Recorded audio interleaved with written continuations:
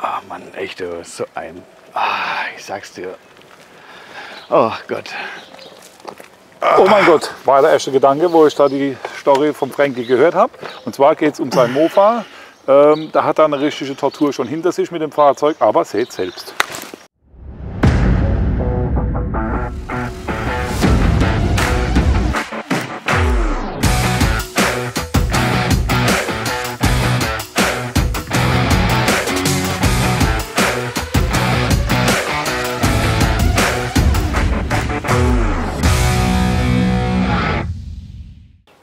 Willkommen heute wieder bei Mr. Moped in der Moped Garage. Heute haben wir Besuch vom Frankie. Der Frankie ist äh, auch einer von der Zuschauer, so wie ihr, und hat dann das Video von uns gesehen mit der Fehlersuche. Und ja, den kleinen Kommentar von mir, soweit ich weiß, ja, mit äh, äh, ja, Push-Mopeds, die wir hier auch immer wieder herrichten. Und da hast du dann so ein schönes Teil. Was gibt es dazu zu sagen? Das ist dein Traummoped aus der Jugend. Das ist mein Traummoped aus der Jugend. Also ich war leider, leider sehr, sehr krank und meine Frau hat mir damit einen ganz tollen Gefallen tun wollen, dass ich praktisch wieder zu mir zurückfinden kann. Und dann hat man dieses Moped besorgt, Mofa besser gesagt. Und äh, ja, dann waren zwei Profis am Werk. Okay.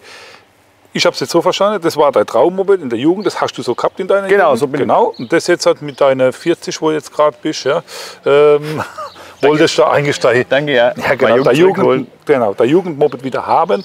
Ich weiß, du warst im Krankenhaus gelegen und deine Frau hat dich dann mit überrascht. Hat gesagt, du, wenn du rauskommst, hier ist der Schlüssel, da wartet schon dein Jugendtraum-Mofa Ja. auf dich. Gut. Die Geschichte von dem Fahrzeug war dann, das habe Freunde, glaube ich, besorgt. Gell? Irgendwie. Ja, ja, richtig. Und dann war äh, ein Spezialist dran, wo man sagen muss, war auch ein Spezialist. Ja, der hat das Ding optisch wieder super hergerichtet, hat aber auch gleich dazu gesagt, Motor kenne ich mich nicht aus, das Ding läuft nicht, da braucht man Spezialisten. Ne? Genau. Bin ich richtig? So war's genau richtig. Gesagt, getan, das Fahrzeug war da, war nicht fahrbereit. Dann habt ihr den Spezialisten gefunden in Bayern für den Sachs 505 Motor. Den besten. Den besten. Allerbesten. Also auch hier ein Gruß von mir an den Spezialist für die Sachs 504 und 505 Motoren in Bayern. Ja. Ein Gruß noch von mir so als kleines Hit. Seid mir jetzt nicht böse, dass ich das wieder sage, aber es wirkt ein bisschen arrogant, wenn ich mich schon Spezialist nennen muss für den 505 Motor, den mein dreijähriger Sohn inzwischen schon anfängt dran rumzuschrauben. Dann habe ich was falsch gemacht. Weiß jeder von euch, jeder Fachmann, das ist der einfachste Motor, den man überholen kann. Gut, er ist der 505-Spezialist. Was ist dabei rausgekommen? Motor hingeschickt. Motor hingeschickt, ähm, Motor wurde überholt, Motor wurde vom anderen Spezialisten ohne Getriebe eingebaut. Motor hatte keine Leistung und ähm, dann ist mir das Kettenrad runtergesprungen zum Glück. Dann habe ich festgestellt, als ich das Ritzeln tauschen wollte, musste ich ja den Deckel wegmachen, dass da gar kein Getriebeöl drin ist.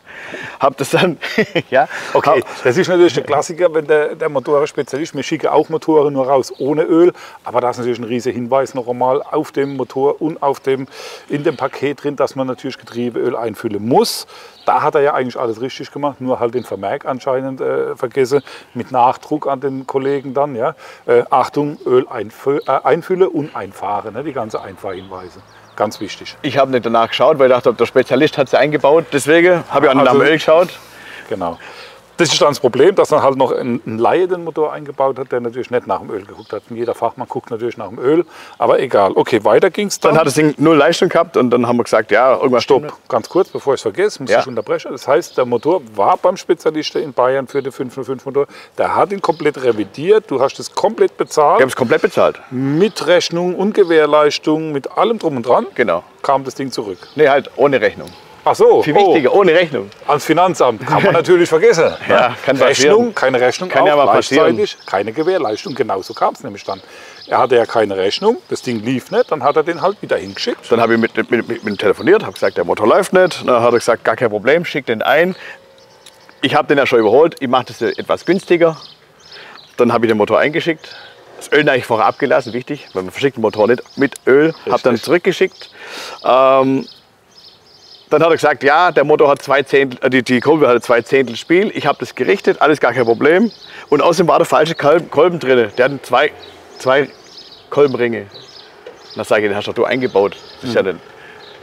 Lange Rede, kurz Sinn, ich habe hat den Motor nochmal frisch geholt, einen neuen Kolben mit, mit einem Kolbenring eingebaut, habe mir den Motor zurückgeschickt, habe gesagt, es läuft der bombig. Und nochmal bezahlt? Und dann, aber habe Also dann geil. Ab, Moment, ich habe sogar mehr bezahlt wie beim ersten Mal überholt. Dann habe ich gesagt, wieso du hast ja gesagt, du kommst mir im Preis entgegen, weil du hast ja den falschen. Dann sagt er, äh, Personalkosten gestiegen, bla bla bla. Lange Rede, kurz Sinn. Ich habe es bezahlt natürlich und habe den Motor dann Mit Rechnung dann mit, diesmal? ohne Rechnung wieder. Also auch wieder hier Ja. ein Gruß ans Finanzamt, ja, für Ja. alle, die hier legal arbeiten wie mir. Da geht natürlich nichts ohne Rechnung raus und ohne Gewährleistung. Aber geile Nummer, finde ich. Absolut geile Nummer. Ich schicke den Motor zu dem hin, der, der läuft nicht. Dann schicke ich den wieder hin und dann sage ich, oh, da ist eine falsche Kolbe drin. Wo liegt jetzt der Fehler? Ja, natürlich beim Superspezialist, wenn ich eine falsche Kolbe reinmache, dann kann ich nicht sagen, jetzt bezahlst du mir das noch einmal. Hätte der eine Rechnung ausgestellt und du wärst mit dem vor Gericht gegangen, hätte er jeden Prozess verloren. Ist ja klar, weil Ja. ich habe eine Gewährleistung. Ich kann doch nicht als Fachmann einen Motor rausgeben, der nicht läuft und sage dann, hey, da war der falsche Kolben drin, jetzt mache ich eine richtige Kolbe rein. Ja, aber was, was okay, jetzt, jetzt mache ich die richtige Kolbe rein, stelle das nochmal teurer in Rechnung, weil ich jetzt Mitarbeiterkosten habe, aber immer noch kein Finanzamt bezahle. Ja. Okay, weiter. Dann habt ihr den wieder eingebaut. Dann habe ich, dann hab ich den Motor selber mit meinem Freund zusammen eingebaut, Okay. weil war ja nichts mehr zu machen. Habe dann Getriebe einge, eingefüllt und habe gedacht, ich fahre den Motor langsam ein. Also dachte mir, der zieht halt nicht so arg, weil er halt noch ganz frisch ist. Ja. Gibt mal nicht so viel Gas. Lange Rede, kurz Sinn. Jedes Mal, wenn mein Mofa einen Berg gesehen hat, mussten meine Be Bekannte und Freunde mich den Berg hochschieben mit ihrem eigenen Mofa, weil das Ding nicht hat, Okay. Berg, das hat Angst vor dem Berg gehabt. Okay. Und äh, dann habe ich, ich ich bin verzweifelt, und dann habe ich im Internet zum Glück den Norbert gesehen, weil ich beobachte schon länger, was du für Sachen machst und äh, du wirst ja auch von so vielen Profis Ja. heimgesucht, also Leuten, die bei Profis ihr Moped richten lassen Ja, haben. ja, ja. Und du bist einfach meine letzte Hoffnung, Okay, ja? also jetzt haben wir das Teil hier gekriegt. Wir haben jetzt ja die Vorgeschichte haben wir gehört. Wir wissen jetzt schon mal, ähm, ja, dass da auf jeden Fall kein Profi am Werk war, weil das, das geht gar nicht. Also Frankie kam jetzt zu mir mit dem Fahrzeug, dann habe ich natürlich gesagt, was ich immer mache, mach mir das Fahrzeug mal an, damit ich mal sehe, wie das Ding läuft, weil ich sage immer zum Kunde, mach das Fahrzeug an, das hatte man schon das Thema, äh, dass wenn was kaputt geht oder wenn irgendwo was ist, dann sehe ich gleich mal, wo die Fehler liegen. Ne? Das hatte Frankie dann versucht, mit 30 Mal reindrehen, dann habe ich irgendwann Mitleid bekommen, habe gesagt, du lass es gut sein, dann haben wir versucht, das Ding anzuschieben, nach wirklich langem Hin und Her, ich dann mal so einigermaßen gelaufen, macht dazu keinen Sinn. Ne? Bei mir ist die Regel, beim dritten Mal muss es laufen, wenn das nicht der Fall ist, liegt ein gravierender Fehler vor, dann gehen wir auf Fehlersuche. Und das ist jetzt das, was wir machen, was wir euch jetzt auch in der Werkstatt dann ein bisschen zeigen, wieder, wie wir hier vorgehen. Der Frankie hat uns das Fahrzeug gebracht. Ich habe es jetzt mal auf die Hebebühne gestellt und jetzt zeigen wir euch einfach mal von Anfang bis Ende, wie man jetzt hier auf die Fehlersuche geht und was wir an Fehler feststellen. Nochmal, hier geht es auch ums Klarzustellen. Wir sind hier nicht die besten Handwerker etc., um jemand schlecht zu machen, sondern wir sind einfach mit den Sachen, so wie sie Fakt sind, so gehen wir sie mit euch durch. Genauso macht ihr es zu Hause auch und da findet ihr den Fehler relativ schnell und einfach und mehr machen wir eigentlich nicht. Gut, Fahrzeug kam auf die Bühne. Da haben wir dann eigentlich schon viele Kleinigkeiten gesehen, die uns aufgefallen sind, nachdem ich die Verkleidung weggemacht habe. Das zum Beispiel hier kann man dann mal draufhalten, Steffen, das machen wir auf Foto. Hier hat jemand das Fahrzeug restauriert und auch wieder als fahrbereit verkauft. Das war ein Geschenk vom, äh, von äh, Frankie seiner Frau. Ja, das heißt, da äh, wurde das Ding wieder als fahrbereit verkauft, was halt ganz weit weg davon ist. Ja. Hier sind sie hergegangen, haben Unterlagscheibe gemacht anstelle der Buchse. Wenn man hier mal jetzt genau hinguckt, sieht man, das reibt hier alles. Das ist also eine Katastrophe schon von der Federung her. Weiter geht's, was eigentlich gleich offensichtlich war, nachdem der Deckel weg war. Das war hier alles mit Kabelbinder nur fest, anstatt man da eine schöne Platte macht, wo man die Zündanlage draufschraubt und dann hier mit äh, Lampe, Vakuum, Klemme, die wirklich super sind für die Wohnung, um eine Lampe aufzuhängen oder einen Strom zu machen. Ja, aber hier am Moped sind sie total fehl am Platz, weil durch die Vibrationen, das, das hebt auf Dauer einfach nicht. Das sagt euch jeder Elektriker, das funktioniert nicht. So, wie gehen wir vor? Was haben wir noch gefunden? Noch vorne auch schön zu sehen. Da ist auch die Distanzbuchse anscheinend verloren gegangen. Dann haben sie da auch Unterlagscheibe gemacht, wodurch der Tauchantrieb sich schon gar nicht mehr dreht und alles äh, abgerissen ist. Das waren jetzt so die ersten zwei, drei ja, Hinweise, dass das Fahrzeug einfach ja, optisch toll aber auch ein bisschen Richtung Bastelbude geht. Aber es wird noch besser. Es kommt also immer, es geht ja weiter. So, erste Ding haben wir abgeklopft. Nächste war dann natürlich Sprit. Das heißt, ich gucke dann immer nach, nehme hier eine Schüssel, eine saubere, mache hier den Benzinhahn mal auf. Ja, dann sieht man das auch mal gleich schön. So, ja, das ist schon mal sehr verhalten auf dem normale. Okay, müssen wir den, den Benzinhahn mal ausbauen. Das sieht man, glaube ich. Das ist relativ schwach. Kann aber auch der Sprit leer sein, wird aber auch nicht besser. Das heißt, ja, es wäre jetzt okay, dass das Fahrzeug läuft. Aber nichtsdestotrotz muss man da mal nachgucken, warum das so wenig ist. So, nächste, was man gleich sehen, da kann man da vielleicht mal reinhalten. Da ist sehr viel Dreck drin. Ja, also das ist schon mal ein Punkt, da muss man gucken. Tank, Tankreiniger, eventuell versiegeln. Das gucken wir uns dann nachher im Detail noch an. Das ist jetzt so der erste Sprung. Gut, nächste, was wir gemacht haben dann, ist äh, Sprithammer. Jetzt können wir noch, machen wir dann den Vergaser runter, gucke da nochmal nach. Das Fahrzeug ist nicht angegangen. Vergaser machen wir dann runter. Nächste war Luftfilter, haben wir mal geöffnet. Ist schon mal kein Luftfilter verbaut. Das ist kein Tuning, da geht es einfach schneller kaputt. Ganz mal nebenbei gesagt. Also auch schon mal ein Quatsch. Jetzt sehen wir dann, wie der Vergaser noch aussieht. Das machen wir jetzt als nächstes. Das Fahrzeug steht jetzt seit einer halben Stunde hier auf der Hebebühne. Es ist nicht gelaufen. Das steht also jetzt schon mehrere Wochen bei uns, ja, ein, zwei, drei Wochen. Ähm, und wurde von uns auch nicht bewegt. Aber was man jetzt schön sieht, hier ist eine riesen Öllache. Das heißt, da kommt das ganze Öl aus dem Pedalwelle Simmering. Wie soll das gehen beim 505er Motor, wenn er nicht einmal gelaufen ist? Ja? Also das ist natürlich sehr dubios. Gut, das jetzt einfach mal vorab äh, dazu. Dann haben wir jetzt mal die Zündkerze raus, aber Zündfunke haben wir getestet, ist da, alles wunderbar. Und dann jetzt versuchen wir es mal, ob man es hört. Also wir haben sofort gehört, der Kolbe ist der falsche, definitiv, weil der stößt an der Kurbelwelle oder am Kopf an. Man hört es ganz leicht, wenn man jetzt mal drehe. Zündkerze ist draußen.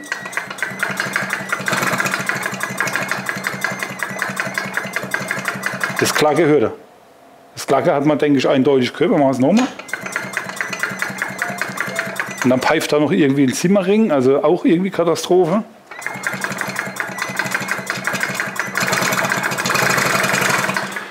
Wichtig bei sowas, wenn Benzin neben dran steht, dann ist Zündung aus. Nebenbei. Also, definitiv müssen wir jetzt Vergaser machen wir jetzt noch runter. Holen wir schon auch wieder dazu. Ähm, prüfe den nach.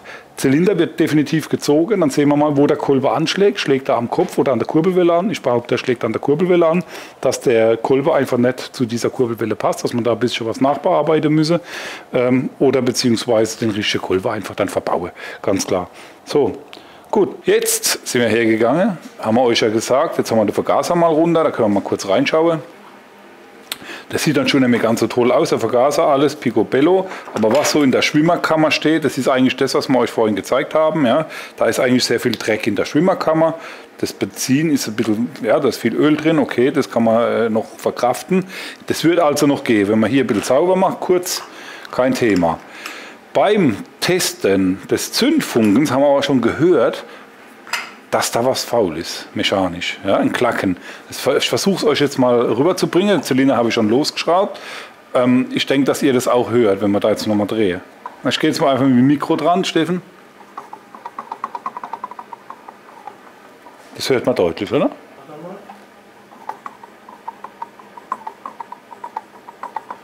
Also, da ist auf jeden Fall Spiel in der Kurbelwelle oder der Kolbe ist, schlägt irgendwo an.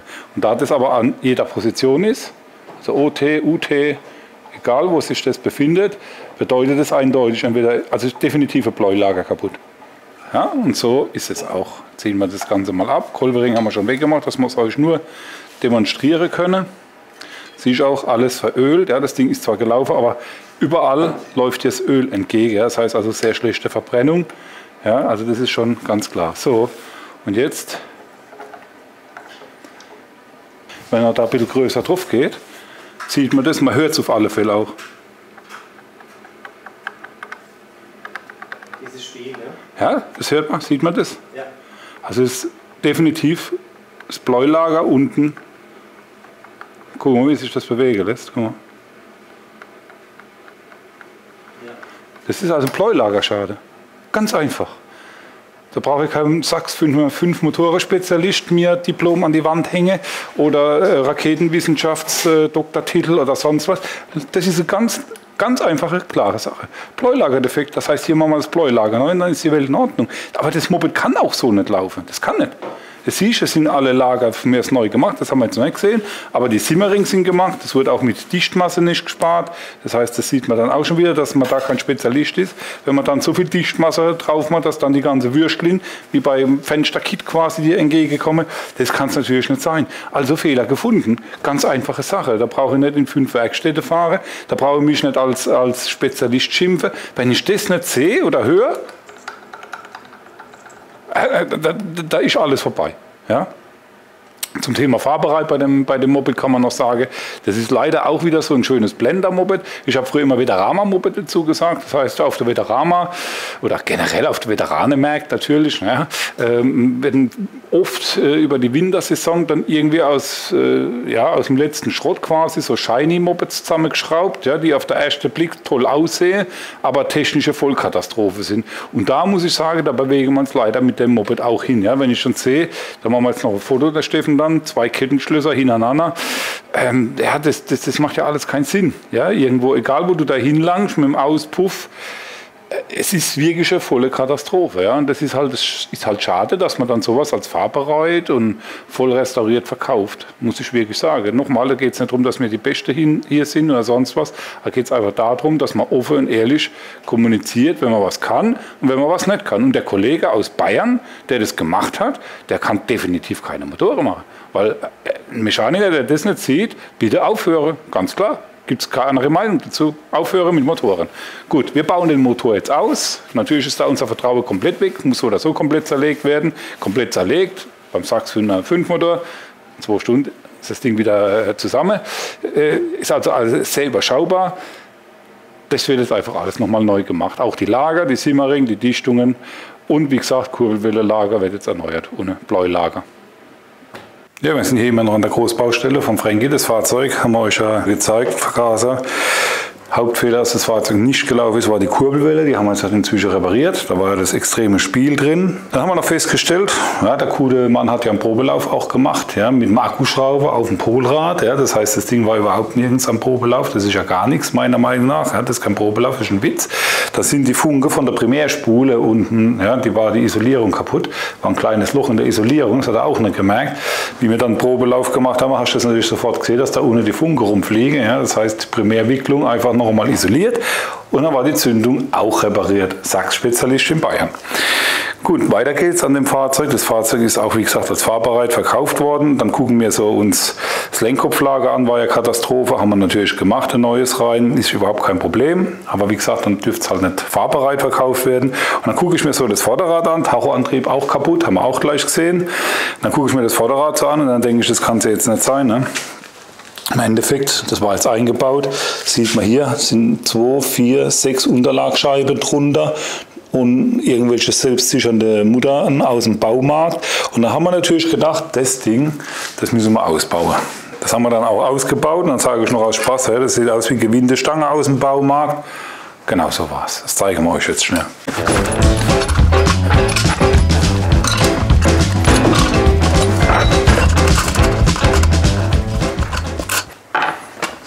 Das sieht man jetzt hier schön, die Unterlagscheibe, Geschichte, die Schraube aus dem Baumarkt. So, ne, hier dann auch nochmal ein paar Unterlagscheiben drunter, was man so halt gefunden hat. Und das ist, das ist ehrlich geil. So wie man sieht, hier schon einfach eine Gewindestange, eine 10er Gewindestange aus dem Baumarkt geholt, hier durchgesteckt, Rillelager rein gedrückt und damit das Ganze dann irgendwie funktioniert, nochmal Unterlagscheibe natürlich drunter. Also absolutes No-Go. Hier gerade eine Buchse reingeprügelt. Die Lager, die drehen sich überhaupt nicht. Ja? Also da ist so Spannung drauf, die sind fest. Ja, ist also auch absoluter Schrott. Das machen wir jetzt natürlich auch noch neu. Also das alles an diese Spezialisten, die das zur Sache treiben, lasst es einfach sein. Auf jeden Fall war das eine Riesenprozedur. Das Fahrzeug lief und lief nicht. Und jetzt haben wir so ein bisschen Pimp My Ride Style. Das Fahrzeug technisch komplett überholt und übergebe das im Frankie und erzähle dann noch, was wir alles gemacht haben. Sollen wir es öffnen? Wir öffnen. Und jetzt geht's los. Der Sound da rein, Sound, ja. Die, raucht, die raucht ja kaum. Ja. Uh. Jetzt ist ja, Gut, wie man sieht, ein bisschen am, am Gemisch müssen wir noch ein bisschen regeln. Ja? Also ein bisschen Qualme knapp, tut sie ja. ja noch. Ja? Bisschen. Aber im Großen und Ganzen, sie fährt jetzt schon mal. Ne?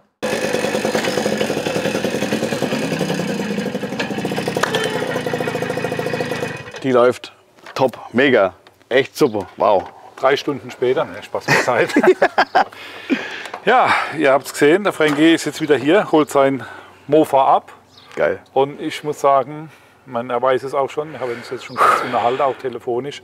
Ähm, ich habe schon viel gesehen die letzten 40 Jahre, wo ich das Ganze jetzt hier mache, aber so ein Pfusch von einem sogenannten Spezialisten auch noch, ja, also nicht nur Fachmann, sondern Spezialisten, habe ich jetzt persönlich noch nicht gesehen, muss ich wirklich sagen. Aber auch lustig ist, in denen, es sind jetzt glaube ich vier oder sechs Wochen, wo, Ja, wir, wo du da warst, so grob, ne? wir können Ja. natürlich auch nicht immer klar alles fallen lassen und dran gehen, äh, hatte mir aber, das habe ich jetzt noch nicht gesagt, noch einmal zwei Motoren von dem Spezialisten Ach, da, wirklich ohne Scheiß, mit äh, Problemen wie, beim einen Motor waren die äh, Simmeringe, schräg draufgeschlagen. Das heißt, er hat keine äh, äh, Kompression gehabt, Nee. gar nichts. Ja. Und bei dem anderen Motor war dasselbe wie bei dir. Da war einfach im Pleuel-Spiel ohne Ende. Das war jetzt hier das erste Problem bei dem Motor. Man hatte viele Probleme bei dem Motor vom Spezialisten. Nee, Ähm, aber ein Problem, das erste Problem war die Kurbelwelle. Das heißt, er hat hier eine Kurbelwelle reingebaut mit über einem Millimeter Spiel im Pleuel unten. Ja, Wow. das heißt, das ist schon ähm, grob fahrlässig. Das hätte wirklich mein dreijähriger Sohn nicht eingebaut, so behaupte ich. Du, du konntest, du hast es gehört schon beim Startversuch, habe ich zu Ja. dir auch schon gesagt, da kleppert Ja. irgendwas, hör Ja, auf, das bringt nichts. Und das war wirklich das Geräusch von dem Pleuel, das wirklich an der Kurbelwelle ohne am Zapfen geschlagen hat. Das war das erste Problem. Das zweite Problem war, bei der Dekompressionsbohrung, Ja. da war Dreck. Und da hast du eine ganz tiefe Riefe in der Laufbuchse gehabt. Und da hat er wohl versucht, mit irgendwie Zylinderhohne, mit dem Schleifpapier, das hast du richtig gesehen, mit Schleifpapier vor allem, dieses, äh, bisschen, diesen Grat, der da drin war, der das verursacht, wegzumachen. Aber du konntest da überhaupt keine Kompression aufbauen. weil so ein tiefer Riefen drin, ein Zylinder kannst du entsorgen. Fertig. Danke. Ja, Super. also da geht gar nichts. danke nach, Das- da, nach Bayern. Genau, also so viel zu dem. Ich habe auch versucht, äh, den Kollegen da mal anzurufen, mehrfach sogar, ja, den Spezialisten mal zu fragen, wo, wo er denn seine Ausbildung absolviert hat, ob er überhaupt einen Gesellebrief hat. Er ist also in der Handwerksrolle, ist er nicht drin. Ich weiß nicht, wie es in Bayern ist, hier in Baden-Württemberg. Also wir sind in der Handwerksrolle eingetragen als Betrieb, der an Bremse, Motoren etc. rummacht. Das heißt, der darf offiziell auch nicht schrauben, sondern ähm, ich denke, der ist so auf dem Hobby-Level. Ähm, darf eigentlich nur für sich selber schrauben. Deswegen kann er dir auch keine Rechnung ausstellen. Ja, stell da Rechnung aus, ist ja dann schon illegal, weil ein Motor brauchst du meines Wissens, in Baden-Württemberg ist es so, ich weiß nicht, wie es in Bayern ist, ein Meister- oder ein Handwerksroller-Eintrag. Das ist so äh, das, das, das Hauptthema gewesen, muss ich sagen Unfassbar. Wo auch wirklich der Kerl nicht ans Telefon ist. Ich wollte wirklich wissen, was, was geht da schief mit so Ja. jemand und dann das doppelte Geld zu verlangen, ohne Rechnung, ohne alles. Hier ein Gruß ans Finanzamt in Bayern. Schaut euch den Kerl mal an, der wirbt überall bei eBay Kleinanzeige. Ja, ich, normal mache ich sowas Drei nicht. Aber Da Buchstaben. muss ich sagen, ähm, als der Sachspezialist sollte man vielleicht mal die Rechnungen prüfen, weil das kann auch nicht sein. Ja? Sehe ich nicht ein, als offizieller legaler Betrieb mit unseren Kosten, mit unseren Steuern, die wir alles hier äh, ganz normal abführen, dass wir dann mit dem Push uns rumärgern müssen, wo Ja. du keine Gewährleistung hast als Kunde. Also macht das nicht. Wenn ihr irgendwo einen Motor hinschickt, uns die Hälfte kostet, wie normalerweise, dann muss ja schon was schief sein oder was faul sein. Wenn er dann nicht mal eine Rechnung kriegt, ihr habt ja null Gewährleistung, Mensch, und dann hast du einen größeren Schaden wie Ja. überhaupt. Da haben wir jetzt noch Glück gehabt, dass es kein seltener Motor ist. Okay. Stell dir vor, das ist ein Motor, den es nicht überall um die Ecke Ja, kaufen klar. gibt, ja, oder die Teile, dann stehen wir da und dann haben wir eigentlich noch mehr Schaden produziert. Weil wäre das Pleuel jetzt, das wäre jetzt demnächst weggeflogen oder irgendwas, Ja. hätte es alles zusammengeschlagen in Toll, Motor. Dann brauchst du einen komplett neuen Motor. Hier nochmal ein Hinweis von mir, sucht euch einen Fachbetrieb. Das ist eigentlich immer besser. Dich, hoffe ich, konnte man jetzt glücklich machen. Mega, mega. Auch noch nebenbei bemerkt, wir machen hier jetzt noch eine 45 km/h Zulassung, Ja. dass du auch ein bisschen schneller unterwegs bist und nicht an jeden Berg mehr hängst. Ja. Das heißt, wir haben da jetzt auch dann äh, Optimazylinder und äh, Vergaser etc. alles verbaut, Auspuffanlage angepasst, damit das Ding einfach, weil du ja in der Alpe wohnst, ne, irgendwie Ostalp, Ja, Ostalb, da geht schon schwer Ostalp, berghoch. ja, also in der Ostalp, da geht es dann schon, wie viel Grad Steigung haben wir da? Hosch, Ich, ich würde jetzt anlügen. Mehr wie ein Randstein wie uns, Absolut, oder? nee, also es, es, es, es, gibt schon bis 16 Prozent gibt's schon Steigung. Also, Also Bergsteigerschaft. Bergsteiger wäre schon cool. Ja, Ja. die, die macht das Logo, da bist du jetzt mit dabei. Aber ich hatte halt als Junge keine, keine Bergsteiger, deswegen muss sie herhalten. Okay, dann hast du jetzt Enduro, Ja. Moped mit 45 km/h Zulassung und kannst dann legal jetzt durch die Sehr cool. Ostalp reiten und die Berge hoch. Ich hab's ja gemerkt, also geht ja schon ganz anders. Also Ja, ja, natürlich. Sehr cool, sehr, Ganz sehr cool. einfach, kleiner Fehler, große Wirkung, gell? oder wie man so schön sagt. Ja. So. Oder einfach mal gleich zum Spezialisten gehen, nicht? Oder das, Ja. klar. Ne? Also es war für uns auch eine Herzensangelegenheit, sage ich auch ganz ehrlich. Der Frankie, du bist auf uns zugekommen, wir hatten die Werkstatt komplett voll, wie ich dann aber die Geschichte dahinter gehört habe und dass ihr euch da so rumquält, dass deine Frau dann schon äh, fast hier depressiv wurde, weil sie dir eine riese Freude in der Situation machen will. Und dann habt ihr nur Ärger gehabt und habt wirklich da nicht einmal den kleinen Moment äh, genießen können. Ja. Und das ist ja im, im Leben die Zeit, die gute Zeit, die Ja. positive Zeit, ist ja das, was eigentlich wert ist, nicht das Geld oder irgendwas. Haben wir, aus dem Grund habe ich ja gesagt, wir nehmen es rein. Vielen, vielen lieben Dank. Gern. Echt super, vielen lieben Dank. Wünsche dir viel Spaß und einen ganz lieben. Gruß an der Frau. Und Schön, dich kennenzulernen lernen zu dürfen. Auf dich kein Thema. gell? Vielen, vielen Wenn wieder Dank. was ist, wir sind für dich da. Gerne, vielen lieben Dank. Das war es hier aus der Moped Garage. Ihr seht auch, wir sind auch gern für euch da. Wir haben da auch immer, wie gesagt, ein, ein großes Herz für so Sachen, wo wir einfach ein bisschen helfen können. Und kommt vorbei. Das war es hier aus der Moped Garage wieder, euer Mr. Moped. Bis demnächst auf diesem Bildschirm.